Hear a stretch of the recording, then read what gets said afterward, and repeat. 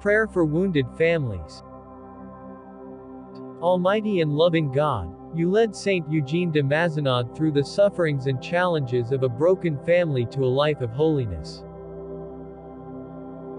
Through his constant intercession bless those whose relationships are damaged and broken.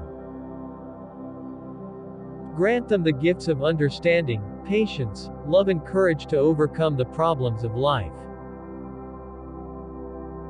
We ask this through Jesus Christ our Savior and Lord. Amen.